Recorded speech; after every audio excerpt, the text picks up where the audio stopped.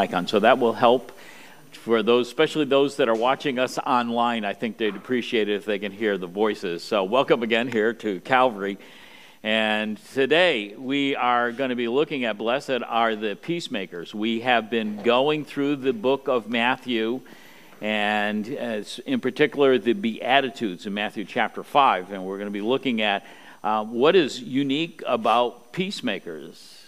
And by the way, a little um, news we are God's peacemakers to this world because we've found the peace that passes all understanding because of what the Lord Jesus Christ has done. And so we'll be looking at that uh, in, in just a little bit. We also have the Lord's table. So we're going to be preparing our hearts and our minds for this special time uh, that we're going to be having with Him. And before I pray, someone has a Ford that is left in the parking lot still running. They forgot to turn it off. And so if, if they have, I'm not sure what kind, kind of car, but if you have a Ford, start getting nervous that your car is running in the parking lot. So why don't we open up this time with a word of prayer? Heavenly Father, we thank you uh, for your blessings that you have so graciously bestowed upon us. We just give you the thanks and the praise for this time now. In Christ's name we pray. Amen. Tom and Ryan, if you lead us. Let's all stand as we sing. Let's sing this through twice, okay? Rejoice in the Lord always, and again I say rejoice. Rejoice in the Lord always, and again I say rejoice. Rejoice, rejoice, and again I say rejoice. Rejoice, rejoice Rejoice in the Lord always. And again I say rejoice. Rejoice in the Lord always. And again I say rejoice. Rejoice, rejoice. And again I say rejoice. Rejoice, rejoice. And again I say rejoice. Oh, good to have you here today. You folks at home, I hope you're singing along. He hideth my soul in the cleft of the rock. And uh, when we're there, God, God protects us. We feel His peace, and let's share it with others.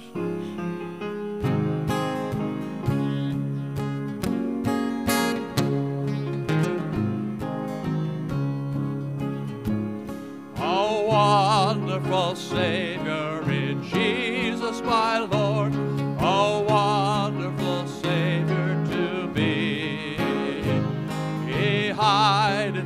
Soul in the cleft of the rock, where rivers of pleasure I see.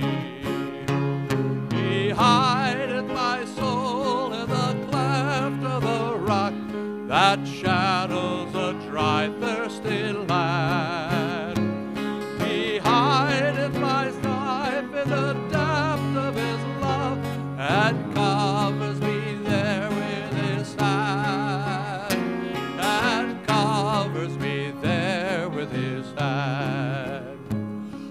Oh, wonderful Savior is Jesus, my Lord, he taketh my burden away. He holdeth me up, and I shall not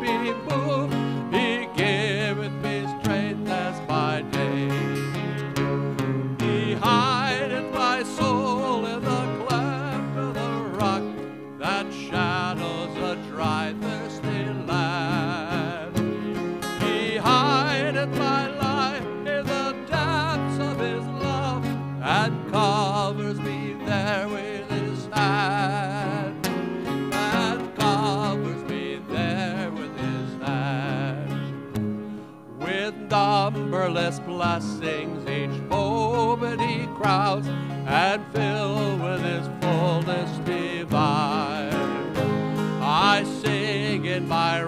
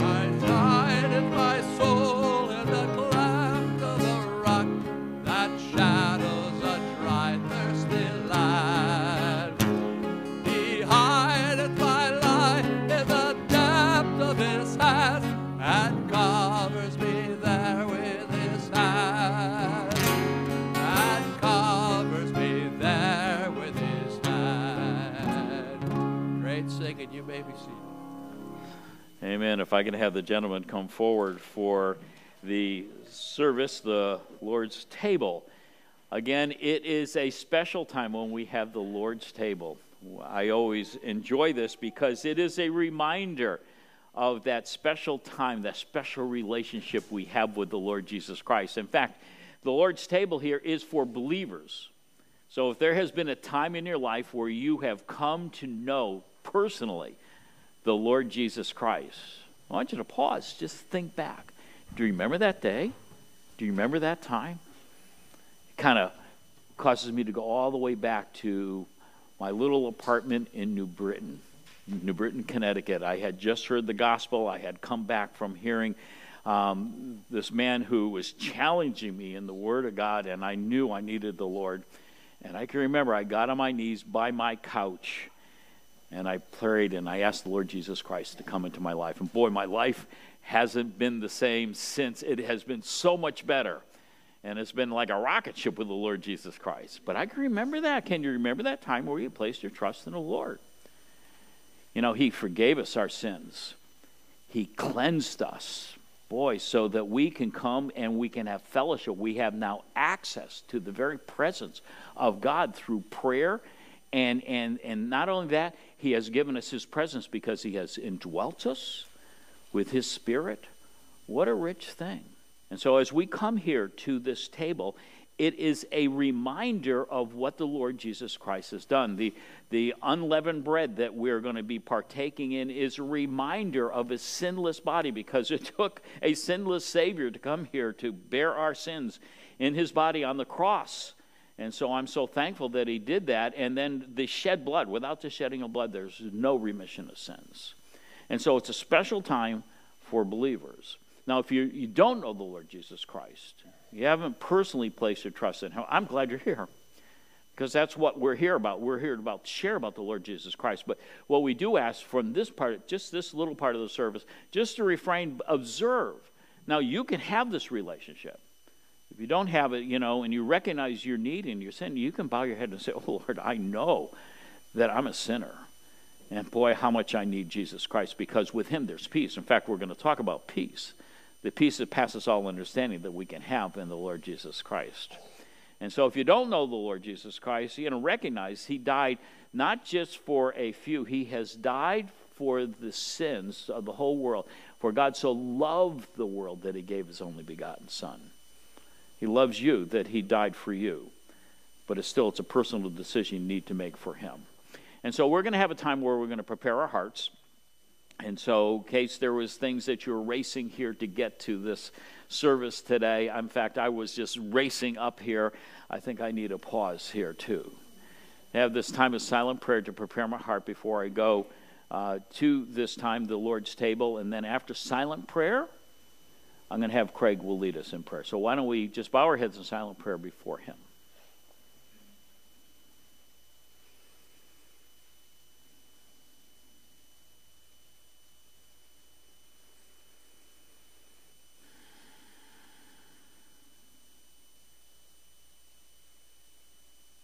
Dear Lord, we do just thank you so much for the great salvation that you made available to us through the death of your Son on the cross. We thank you that not only for that death, but we also thank you that you shared your shared this in your word that we might know how we can have a personal relationship with you. And we thank you even for those that have been faithful in sharing, sharing this great gospel message that we might be saved and we might have the privilege of pointing others to you as well. And I just pray during this time that you would be glorified, that if there are any here that need to make things right with you first, that they would first put put their trust in you and then, you know, next time come again to partake of this. And for those that are saved, that are walking with you, I just pray that this would be a sweet time of remembrance of what you have done for us. And pray this in Jesus' name. Amen. Amen.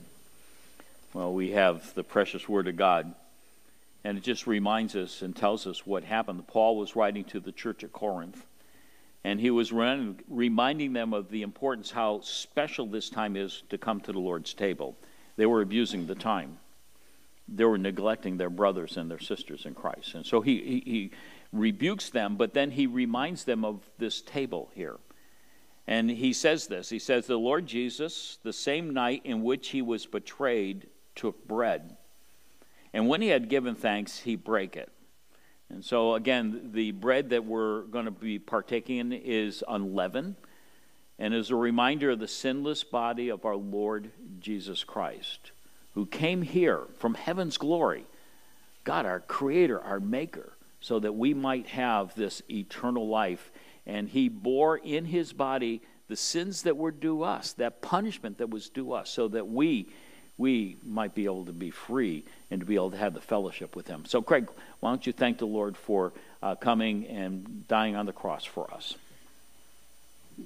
Dear Lord, we do just thank you so much for bearing our sins in your body on the tree. We thank you that the entire debt was paid, not just part of our sins, but all of our sins were paid for um, by your death and burial and resurrection. We just thank you for that. We thank you that the sacrifice was accepted and as a result, we can have this relationship with you. And I just pray that in everything that you would be glorified. In Jesus' name, amen. Amen.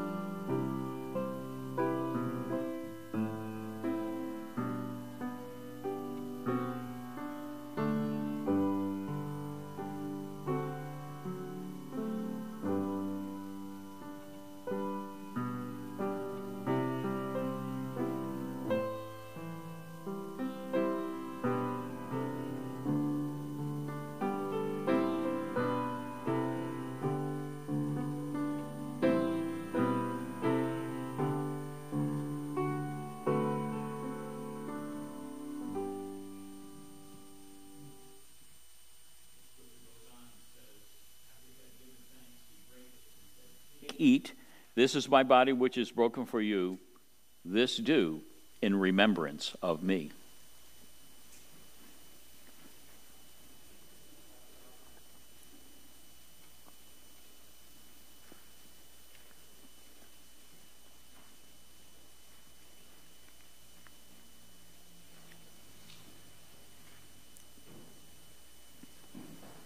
Scripture goes on and says, After the same manner also, he took the cup when he had supped, saying, This cup is the New Testament in my blood. Craig, if you would just thank the Lord for shedding of his blood on Calvary's tree, making this covenant that we might have this eternal life. Dear Lord, we do just thank you so much for the blood that was shed for us, the blood that can take away all of our sins. We just thank you for that. We thank you that you were willing to pay this sacrifice for us. And we thank you even for this time of remembrance, that we can think back to that time that we realized our need of a Savior and put our trust in you, and just think back even more so to that time that you died on the cross in our place. And we just thank you for that and pray that you would be honored in this. In Jesus' name, amen. Amen.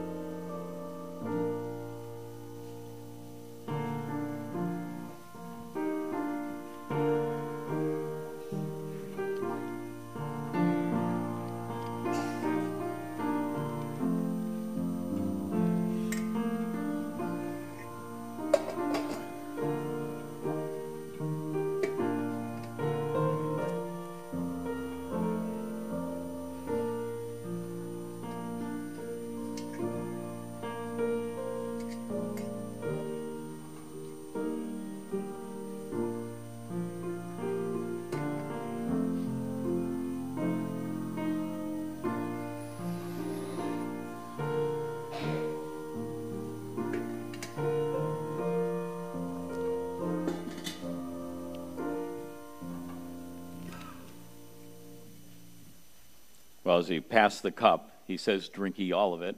For this is my blood of the New Testament, which is shed for many for the remission of sins.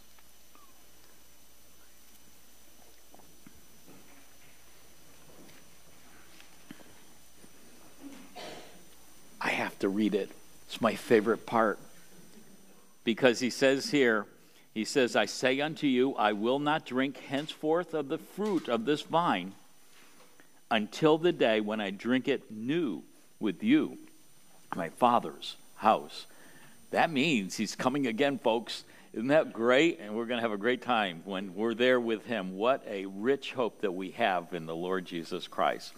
Well, thank you, gentlemen, for this. I do have a couple of announcements um, before we continue on with our service, just to uh, remind some people. Uh, in fact, I, I, think, do we have the PowerPoint of, um, yeah, why don't we do this first? And this is just a picture of what is coming up. This is uh, Jordan and Dana Thornburg. Um, you can see their kids as well that are here uh, with them. And two, two of the girls will be coming when they come out in uh, March. Uh, the end of, uh, they're going to be here on Saturday. Um, and then on Sunday, he's going to speak both messages as well as uh, we're going to have that time of question and answer, you know, and because we're going to be looking as the associate pastor here at uh, Calvary Baptist Church, and they are a delightful family. And so I'm going to put more information up there. Eventually, I'm going to get up there online in our app so you'll be able to hear the interview with him. I just haven't had a chance to edit it, but that will be up there. And so you'll be able to actually see the interview that the deacons and I had um, with Jordan, and um, I think you'll enjoy them. They're, they're a wonderful couple. I think they will, at least at this point, you know, they have to agree to be here, but also we have to call them here. And so it's up to you to know. That's why it's important on Saturday to be here, 11 o'clock. We're going to have potluck kind of stuff where we can uh, just cover dish. So we'll have a luncheon afterwards and some time so you can discern. Our God is the one who appoints. We're the ones who discover. And we're going to discover is this the one that God wants us to have here at Calvary Baptist Church? And it'll be a fit. And so be in prayer for this as well as we go through this marvelous uh, process. Okay, I do have a couple other announcements. Just to um, today, they have the teen, young adults, five o'clock. It's going to be here at the church uh, with Ben and Rachel. Uh, Reformers Unanimous. That's also uh, that's this week, the 10th, um, and that's with Craig and Gina. We have the flock groups, the 19th. Now, if you haven't been part of the flock groups, this is one, another one of my favorite things that we have is the, the church once a month you know we gather we break up into different groups and we meet in different locations where we have fellowship sweet fellowship one with another um, one of the places the parsonage right next door um, is one. The other one on the other side of Waterbury, the west side of Waterbury, is Dave and Jenny's house. They have one. And we usually do the Cordanis, but um, because uh, they're going to be out of town, we're going to have it here at the Annex. Um, and so we'll have the three different groups there. We have that time of fellowship, we have the time of food, prayer.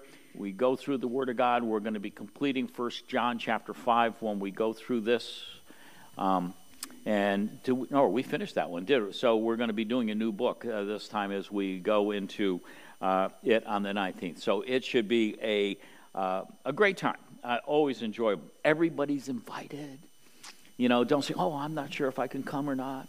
Well, everybody, the, the homes are open for you all that are here, and you can even bring friends. You can bring your neighbors. You know, it's a great time. And, and what, what makes it unique is that you can ask questions in, in, in, in a non threatening environment. Any question you might, especially when we're going through the, the scriptures, and it's not just like um, what we're doing here is didactic, it's teaching, it's, it's uh, we're, we're just expressing the word and you can people nod you know but when you have the bible study you can interact and you can ask questions and so it really makes it cool. And so invite other people to come on out to that as well. Um, we had the uh, men's breakfast. So we just had that. That was a great time.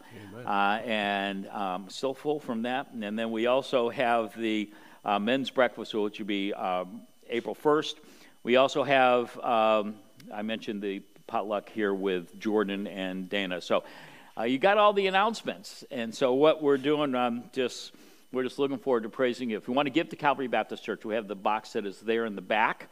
of the church, you're welcome to give, and we're grateful for those that do give. Also, you can do this online. You have the church app. You can use that, uh, or ourcalvary.org. You can go there, or you can just mail it in. But we're just so grateful for those that have contributed to this. And so, why don't we stand and sing it, Tom? And, and Ryan, why don't you lead us? Well, I hope you have a melody in your heart today for the Lord, and uh, so let's sing it to Him as as we enjoy His presence.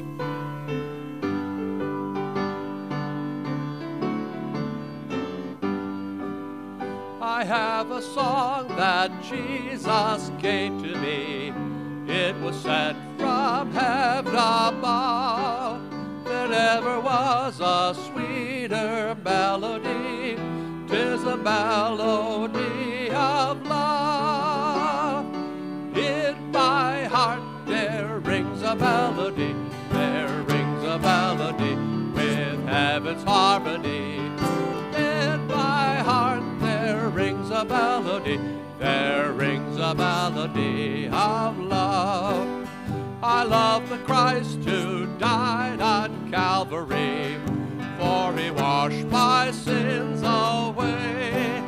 He put within my heart a melody, and I know it's there to stay. In my heart there rings a melody, there rings a melody with heaven's harmony.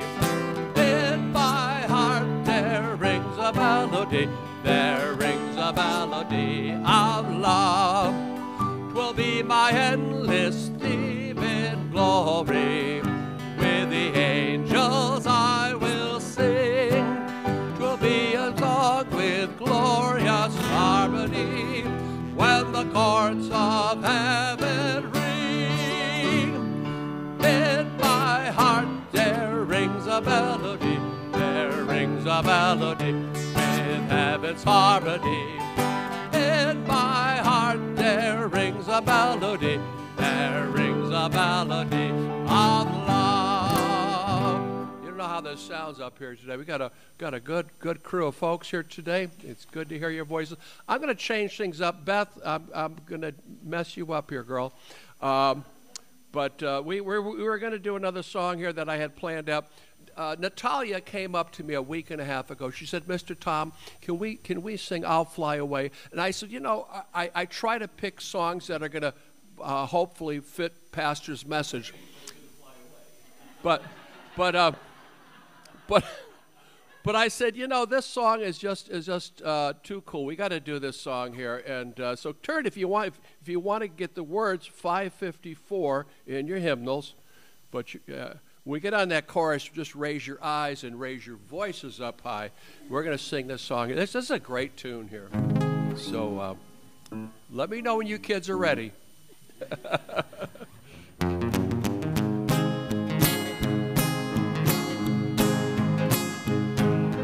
Some glad morning when my life is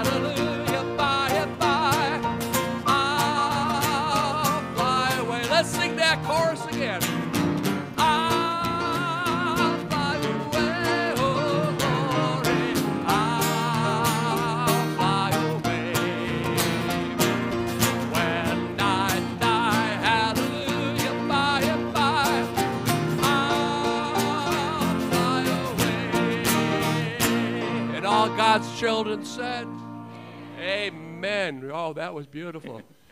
Thank you, Tom. I think Thank we you, got a revival going here. I'll take a revival any day of the week. Church there. Okay, now there are there's going to be a lesson downstairs for the kids, and so the kids can go downstairs. Miss Betty Ann is down there, and she is waiting for you, and so it's going to be a, uh good time. And while they're getting ready to go downstairs, if you will, turn to Matthew chapter five. Matthew chapter 5 because we're going to be looking at the one of the beatitudes. We've been walking through the beatitudes. And so it's always a pleasure to be able to open up God's word.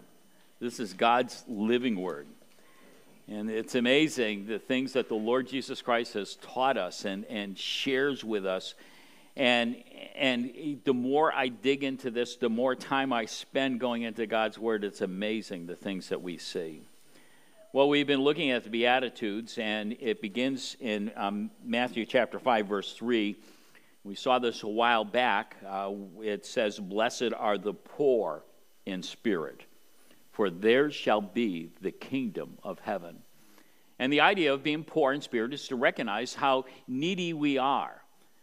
I mean, it, because there's no way on earth we're going to be able to get to heaven, and we're fallen creatures and how desperate we need this. And he says the first thing that we need is that we need to be see ourselves as poor and needy in the spirit that we need a savior. And when we need a savior, you know, theirs is the kingdom of heaven because when we place our trust in Christ, boy, doing that, we get the new life in Christ. And then it goes on to verse 4, he says, Blessed are they that mourn. Well, you, most of us think when we're mourning, you know, that's a horrible thing, you know, where there's a death or something. But the idea of mourning here in its context is that we're mourning over sin. We see how wretched and how much destruction our sin and how wretched and destruction the sin of humanity is. And we mourn. Have, do we not get to that point when we look at the news? I groan when I get to the news and I mourn over this. Well, he says, those that mourn in this way, the biblical way, because of Christ, they shall be comforted. We see the third as we went through this, and I'm just reminding you where we're going with the Beatitudes, um, is the blessed are the meek. And we discovered that time meek is strength under control. Instead of being wild animals doing whatever we feel like, whatever our passions are, when we came to know Christ, we became self controlled. We are now guided by God's Spirit. And as a result, we are now strength under control. That is meekness. Those people that are solid, willing to die for our faith, willing to stand for what is righteous, willing to do that which is good, but it's under control, not just controlled by our passions. And as a result, as he speaks about this, blessed are the meek, for they shall inherit the kingdom, uh, inherit the earth. Verse 6, he goes on, and when we saw this, it was blessed are they which do hunger and thirst after righteousness. And I'll tell you, even with that change that comes, this transformation that takes place in our heart, boy, then we start hungering and thirsting for righteousness. God's word then jumps off the pages, and as the Holy Spirit lifts it up and shows us, and, and we just, just can't get enough. And that's a, thing that happens out of faith. And this is the Lord, a long time ago, when he's standing on that Mount Beatitudes, he's giving this. He was just describing kingdom living, and this is what we're trying to do now this kingdom living. Verse 7, he goes on, he says, Blessed are the merciful, because once we have discovered mercy from the Lord for the forgiveness of our sins, how much more we're willing to grant mercy to other people. And as he goes on, he says, Blessed are the merciful, for they shall obtain mercy. And the mercy that we receive, we saw that it's the mercy that we get from God. The more mercy we show toward others, the more He shows these, those things towards us. And then, blessed are the pure in heart. One of the results here of this new life is that we're now going to strive to live, to have pure hearts, pure lives before the Lord Jesus Christ. I got a periphery of emails um, today because um, I skipped this one. Tom, he says he's preparing the songs. He says, What? You missed one. And then, and then Beth sends me another one, you know, because she does the slides here and everything. And she says, What? You missed one. I, I uh, called them both back. Yes, I know I missed one. and, and the reason why I have to do a message on each one of these little ones that are there. And I really, I wanted to spend more time on what it is to be pure heart. We're going to come back to that. And so, even though they're to be seen in chronological order, and I want you to understand when we're talking about this, this is the result of what we ought to be striving for as we're striving for righteousness and showing mercy, these action things that ought to take place as this new life. Well, one of the action things that takes place in this is that we will have a pure heart. Listen, you don't have the next one, which we're going to look at peacemakers. Peacemakers does not come from an, an impure heart, it has to come from a pure heart. And so we're going to come back to that one, but we're going to be looking at just with the time that we have allowed here. Um, Blessed are the peacemakers, for they shall be called children of God. Special, special thing. Now, there's 400 references that I found. No, I didn't find. Someone actually counted direct references. Um, to peace that is found in the Bible, and then there are countless other references that are indirect about peace. In fact, our human history, it began in peace. Before the fall, there was peace, you know. Everything when God had created all things, it was everything was good. And then with the fall, the end of harmony ended. Sin entered into the world, and by sin, came chaos and fallenness and all the things that we see that are taking place today. And, and we do not find that foundation for peace again until we, you know, we have little glimmers of it throughout the Old Testament. He's telling us that the, the, the Prince of Peace is going to come, you know, and they're looking for the Messiah. And then he shows up in the New Testament and he died for our sins he is the Prince of Peace. He is the one that is going to provide peace. And by the way, when we place our trust in Christ, is there not peace? Peace with God. That's what this whole communion table was about here. A peace that passes all understanding because the more we walk with the Lord and the more we learn with Him, even though bad circumstances do happen to God's people, we have peace that passes all understanding. And then, of course, we have that ultimate peace, do we not? When the Lord Jesus Christ, He's setting up that future for us and we'll have that peace with Him. What a marvelous thing. And so today, you know, the peace that he's talking about, at least in our day, for believers like us, is Christ. We're allowing Christ to rule in our hearts, and he's going to provide this, this peace. History does prove, however, that peace does not characterize man's existence. You know, probably two reasons. Satan, of course, the opposition that he brings, and of course, the disobedience of man has much to do with the unrest that we see. Hmm. Someone did this. So I'm just quoting, you know, look from reliable sources. The idea of violence in our world, and someone chronicled it from the third century BC all the way up until 1968. Now, he started late in history. He could have done something even more, but from 3rd century BC until 1968, there have been 14,553 wars. That is 7.27 wars per year since 3 BC. That is amazing.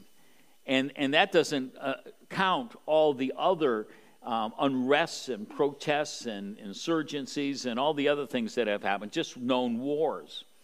From 1945 until 1985, there have been 70 plus wars, 200 international instances, and over 100 nations involved in armed conflict. That's since, you know, 1945 until 1985. Well, some of you are saying, well, I just got born in 1985. There's a couple of you who've had that. I couldn't count all the other ones. They're, they're conflicting with the records that were there. But since 1985 until today, I do know we had the Gulf War, the uh, Sierra Leone uh, Civil War, we have the Bosnian War, the Kosovo War, the war in Afghanistan, the war in Iraq, Libya, Syria, Yemen, um, global conflicts. Uh, we have Russia and Ukraine that are, and that doesn't count, you know, the economic lack of peace and then the radical, um, no racial peace, there's no family peace, there's no religious peace, no social peace, and all the other stuff that goes on. I'm glad I know the Lord Jesus Christ. How about you? Amen, huh? No end of marches, no end of sit ins, no end of rallies, no end of protests, no end of demonstrations and riots and then outcroppings and you know the threats of war that are happening in our world today. Ever notice I was looking? Um, kids have um, Disney, and they gave me a little uh, bit to the Disney Channel. And if you go to the Disney Channel, um, they will have Marvel comics. Some of you have that and you click on Marvel Comics and you look at all their heroes, they're all war heroes. Think about that. And, and, and this is what we have glamorized war heroes. What about heroes for peace? So, the seventh beatitude, Jesus says, Blessed are the peacemakers, for they shall be called the children of God. He has called you, if you're a child of God, He has called you on a mission. And our mission, we are missionaries of peace. He actually says that, and we'll get to that in the book of Acts. But, you know, we are to, the peace is the peace we're giving to this world, is the peace of the gospel because it means peace with God when they receive this. No longer are they at war with God anymore. And then, as an end result of this, there can be peace with mankind as well. And then we are to go and to share this peace so that others can find the peace. I dare say most of us know someone who has no peace whatsoever. I mean, they don't sleep because they don't have peace. They, they are drinking and they're having alcoholic problems because they find no peace. And they're in drugs because they find no peace. And, and, and they're horrible to be around because the, there's, no, there's restlessness in them. They cause no peace. And so there's conflict that comes when you're around them as well. People without peace. Horrible thing. So there are several things we need to keep in mind while we're examining the words of our Lord here. The peace that Jesus is talking about has nothing to do with politics. Praise God, I'm tired with politics. Armies, navies, you know, all those things. That is not the peace that he is talking about. That is the peace that we can have with him. Second, the peace spoken here comes in, in the order. Now, you have, remember, I went through the order of these Beatitudes. The peace comes because you are going to do the kingdom thing. You will be you recognize yourself as poor in spirit. You're mourning over sin. Um, you are broken and you have yielded yourself to Him. Now you have become strength under control. And you're hungering and thirsting for righteousness. And you're, and you're extending mercy to others. Their action that comes out of those inward things that are there. Um, the other action is now there's purity that's within the heart. And then, of course, the peacemaker thing. It all comes because of this transformed life that we have in the Lord Jesus Christ. Third thing peace is only established in, in one way righteousness is the key to having peace. Um, it, to bring two parties together and they don't have righteousness, and think of the Middle East. You know, you have Israel and they're trying to make peace or with the PLO or whatever, and, and so they have to have righteousness on both sides to make peace. And if one or both of them don't have this, there's no peace whatsoever. It just can't be accomplished. Absolutely impossible. You have the key ingredient, you know, to one of the key ingredients to peace is righteousness. It's a key element. You know, men can stop fighting without righteousness, but you cannot have peace without righteousness. In fact, what is it? The uh, Jewish greeting, shalom, or shalom, shalom, literally, it's wishing them that they have righteousness and goodness of God, because when you have righteousness and goodness of God, you have peace. And they say it twice often. They don't just say shalom, they say shalom, shalom.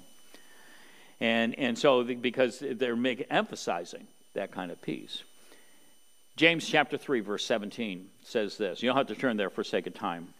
He says, But the wisdom that is from above is first pure, then peaceable. It's very interesting. You know, it, I think that that came right out of the Beatitudes. I think he just said that. He has to have pure heart first and then peaceable.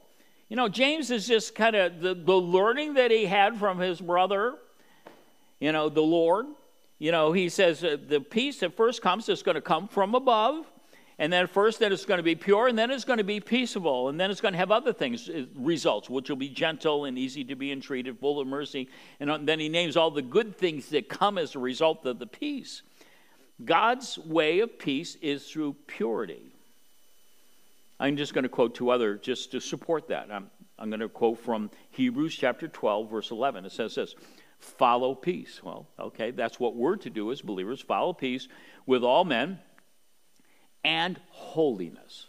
Now, let me read that again. I'm just reading from Hebrews chapter 12, verse 14. Follow peace with all men and holiness, without which no man can see the Lord. Do you see how he attached peace and holiness kind of fit together in this passage? He says, if you're going to have peace, there's got to be holiness. There has to be righteousness as part of that. Without righteousness, without that relationship, there's no peace. Psalm 85, verse 10 says it again mercy and truth are met together.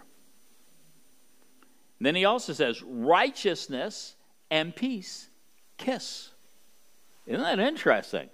Even in the Old Testament, even before the Messiah shows up on the scene, they, these guys, under the inspiration and leadership of the Holy Spirit, they knew that without righteousness, you cannot have peace. Mercy and truth are meet together, righteousness and peace. They have kissed each other. And the righteousness is, it's the righteousness of the Lord Jesus Christ. So when we have that, great things happen. Therefore, our job, your job, my job, to be a peacemaker. And so to be a peacemaker is going to require some terms. And so if I'm going to go and I'm going to be making peace with somebody and, and showing them, one, they have to have righteousness. It's the righteousness that only Jesus Christ can give them first. And when righteousness is met, then you know, they're at peace with, at least with God. Now, when Jesus was described in John, John chapter 1, it says Jesus is full of grace and he's full of truth. Remember, truth has something to do with righteousness, and grace does also. Uh, grace is received, the grace that we get from Jesus Christ, he died for our sins, did he not? And, and through this death, burial, and resurrection of the Lord Jesus Christ. That's pure grace. We did not deserve any of that at all. And then he says Jesus is full of grace as he extends that grace to us, but he's also full of truth. truth sometimes brings bad feelings. You know, when you start pointing out this is that which is wrong, doesn't doesn't it kind of stirs up bad things. But you know, um, truth is, for example, if I tell you you have cancer and the truth is you need surgery, that stirs up bad feelings. Nobody likes going through surgery. And yet, the kindest thing that you can do is go through the surgery to save your life. Truth is about our sinful state, and, and to understand that when we explains the sinfulness that we are and then also when we realize the righteousness that we can have through Jesus Christ. I mean, it hurts at first. I'm a sinner. But how much more I can receive this grace of the Lord Jesus Christ and I can find forgiveness. Therefore, the true enemy of peace, the one that has created all this conflict in the first place, is called sin. Peace without repentance is absolute foolishness keep your finger here. Just go to Jeremiah chapter 8, the book of Jeremiah in the Old Testament. Jeremiah chapter 8. I just want to read a little passage here in Jeremiah chapter 8 that kind of describes peace without righteousness. It, by the way, that does not work. In Jeremiah chapter 8, uh, beginning in verse 11, notice what it says in this passage. I'm just going to read 11 and 12. He says, For they have healed the hurt of the daughter of my people slightly. So they're not healed completely. They, they have healed the hurt of the daughter of my people slightly, saying, Peace, peace, when there is no peace. So, you know, they, they have this peace that's without righteousness. They're saying, Peace, peace, but they've only healed the people slightly because, listen, it doesn't happen without righteousness, it doesn't happen without God's help.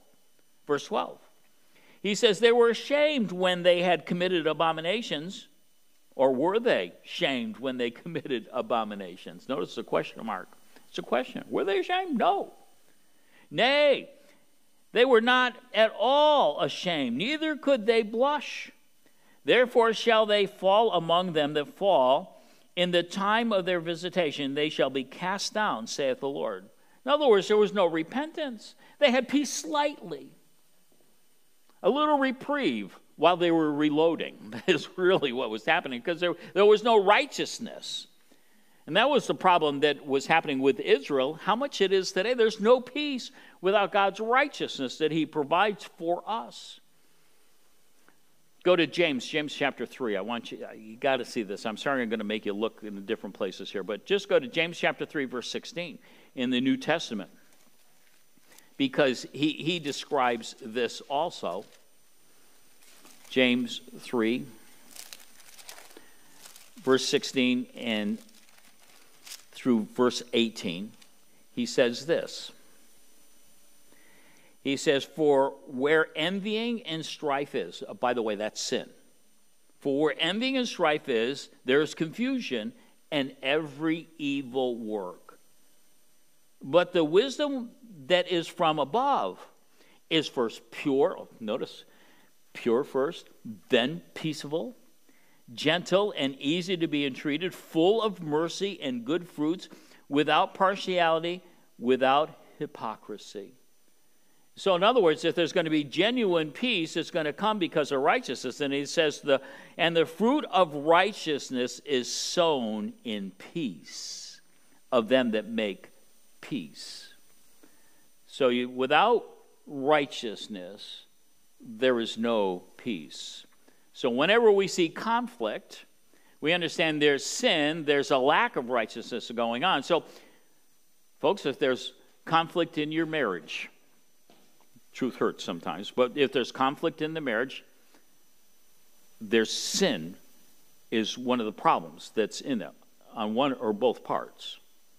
If there's conflict in the workplace, there's something because someone is entering and bringing some sin, the unrighteousness and untruth that's going to be part of that. Um, if there's conflict that seems to follow you wherever you go, I go from one point, there's conflict there, I go into the other, there's another, wherever I go, there seems to be conflict. Then we ought to dial in and start saying, wait a minute. Either conflict's in all those places, or perhaps the conflict is here and there's sin here and wherever I'm going, I'm bringing it with me. So, what we have to do is find righteousness. And it starts going back to the Beatitudes. We go back and, Lord, you know, I need your help. I need forgiveness and meekness and, His control in our lives. Peacemakers, then, are those people that uphold Christ's standards high. And those, that, and then we see ourselves as poor in spirit not high and mighty, by the way. And as a result of this, there's a transformation that comes forth in our lives. Peace is, of course, made through the blood of Jesus Christ. Colossians 1, verse 19 to 20 says For it pleased the Father that in him should all fullness dwell, and having made peace through the blood of the cross by him to reconcile all things unto himself. It is Jesus who bought that peace on the cross. But we need to be peacemakers. We need to go there, get it from Him, and then when we do this, we come and we bring this peace to this world here. Hmm. Boy, it's what a joy to be able to go and to open up the Word of God and be able to tell people about that peace the peace that only Jesus can give. And they can have that peace. By the way, if you don't know Jesus Christ, you can have this peace also. All you have to do is just receive and recognize I'm a sinner. I'm, I'm part of the problem. And Lord, forgive me, come into my life. Acts chapter 10, verse 36 says this He says, The word which God sent unto all nations and unto the children of Israel, preaching peace by Jesus Christ. What a marvelous thing. It's peace by Jesus Christ. So the question is, and I'm out of time, probably have more time to tell you things. I'm going to start right here. Do you have peace? Is there peace in your home? Is there peace in your heart? Do you have a peace that passes all understanding?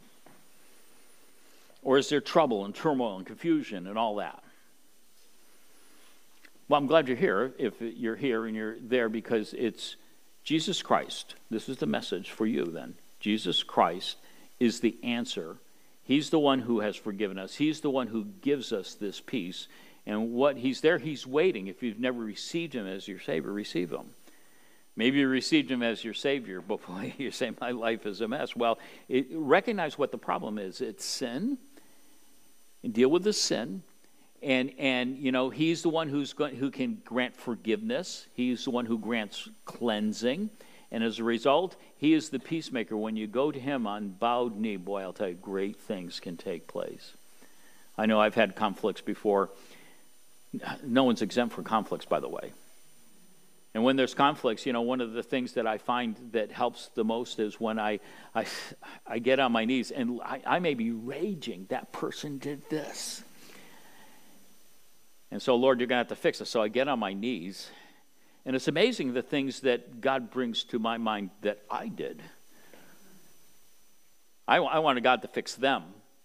But when I got on my knees, I, God was saying, No, you got to fix this first before you fix them. You know, he says, take the telephone pole out of your eye so you can see the sliver in the other guy's eye. You know, that's what Jesus said. I mean, I just paraphrased that a little bit, but he used the mold.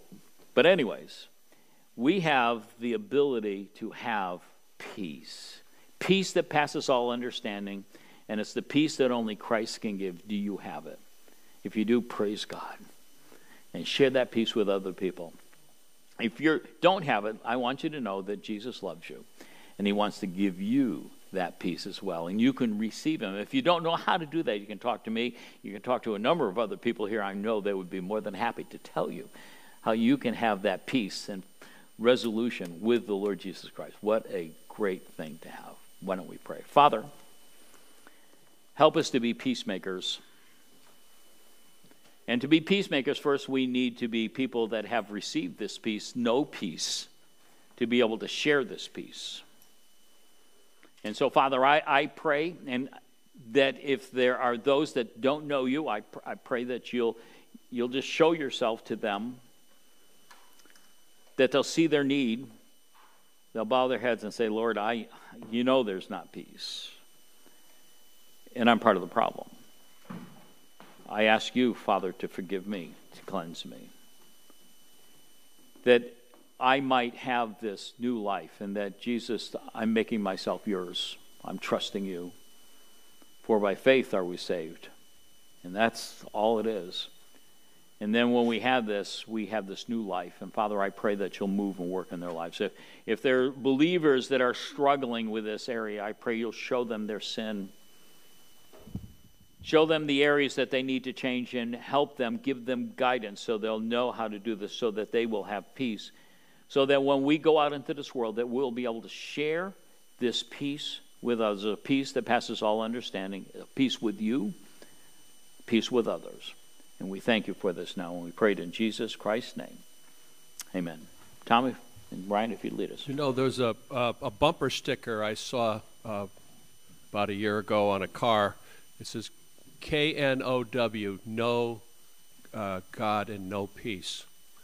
And then there was, and then the second part of that was N O, no, no Jesus, no peace. Isn't that true, huh? Amen. Let's all stand and sing. Let's talk about that peace that makes it well with our soul. when peace like a river attended my way, when sorrows like sea billows roll, whatever my life thou hast taught me to say, it is well, it is well with my soul. Ladies, it is, gentlemen,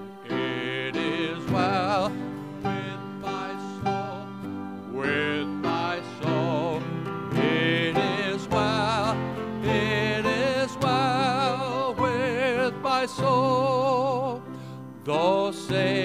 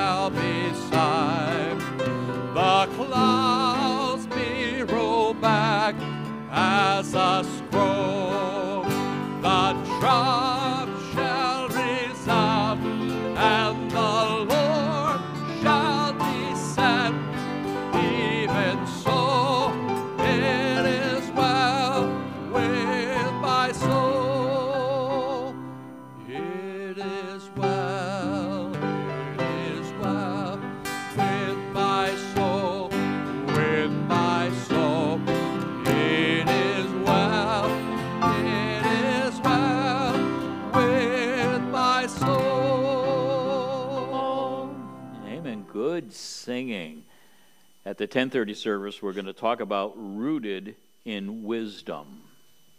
How we need to be rooted in so many things. You know, last week we, we looked at being rooted. This week we're going to be rooted in, you know, that which is so, so very, very important. Not only in forgiveness, but rooted in God's wisdom. So why don't we pray? Father, thank you. Thank you for the things that you have so graciously given to us. That the cleansing and, and this relationship with you, Father, that has been so freely provided through your Son, Jesus Christ. We're here to, to just give you praise and thanks for it. May you bless those that are here, and we thank you. We praise you. In Christ's name, amen. Amen.